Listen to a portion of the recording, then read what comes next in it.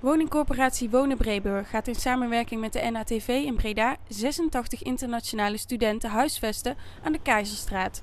De NATV heeft door de toename van internationale studenten behoefte aan woningen op één locatie. De appartementen aan de Keizerstraat worden nu beperkt bewoond door tijdelijke huurders in afwachting van de ontwikkeling van het Molsterrein. Deze ontwikkeling heeft door de economische situatie vertraging opgelopen.